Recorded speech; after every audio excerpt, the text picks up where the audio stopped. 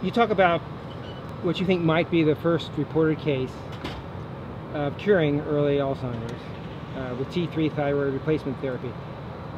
What does this treatment consist of? Do you just pop a pill a day? How does it how does it work? Well, the treatment uh, consists of uh, T3 triiodothyronine, which is the active form of thyroid hormone. Yes, in an ideal, uh, simplified setting, um, it's, uh, it's a pill a day. Now, having said that, um,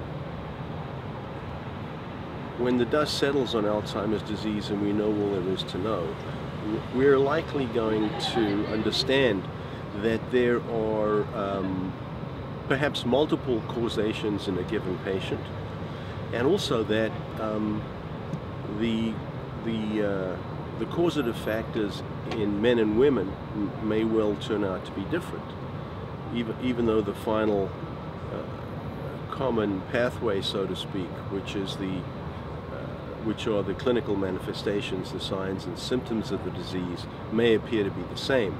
Uh, things that, that happened prior to that point may be different. Are there any side effects with taking this therapy?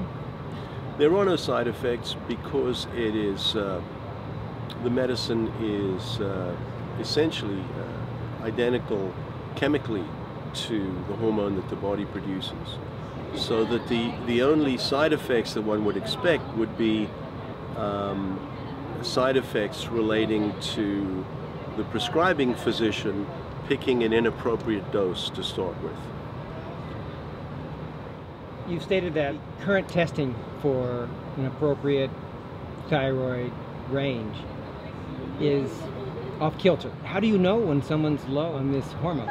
It's been understood by some for the better part of half a century that the gold standard uh, for management of hypothyroidism uh, is the patient's response to thyroid hormone and not the blood tests. Unfortunately, uh, only a very small minority of physicians sub subscribe to this philosophy, and for the vast majority of physicians, um, if your thyroid blood tests are normal, you're normal. That is clearly not the case in some patients.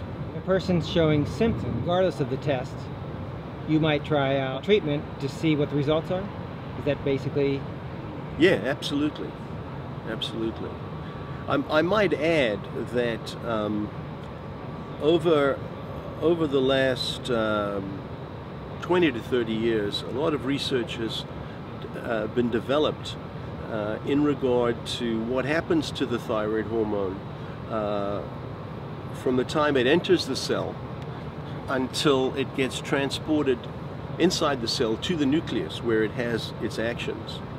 And um, this is uh, this is new knowledge, which which although it's been it's been developing for about 20 to 30 years, um, has not been incorporated into clinical management at the level of the doctor and the patient in the office. You know, so in regard to support there might be for a clinical trial of of uh, T3 or the active form of thyroid hormone in humans to try to prevent or arrest Alzheimer's disease, um, there, is there is a substantial amount of animal data uh, supporting a link between thyroid hormone and Alzheimer's disease. It's puzzling to me why um, why the clinicians and the researchers have not picked up on this.